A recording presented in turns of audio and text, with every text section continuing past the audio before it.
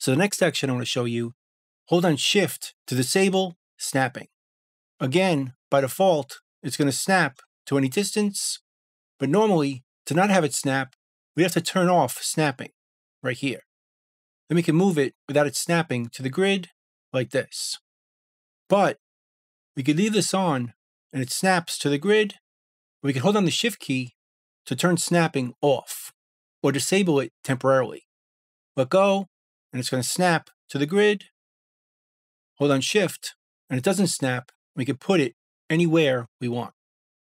So if you prefer to have it snap at any distance, you could leave this on and just use the shift key when you don't want it to snap. It'll snap like this with the grid and snapping turned on. Hold on the shift key and it's disabled. And we can do it on the fly. Let go of the shift key and it snaps again. Hold it down and it doesn't snap anymore. Let go and it does again. Hope you learned something.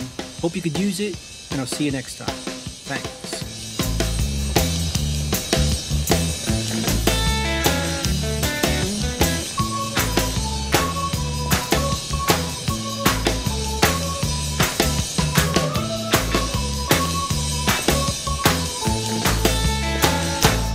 Bingo, boys. Let's go.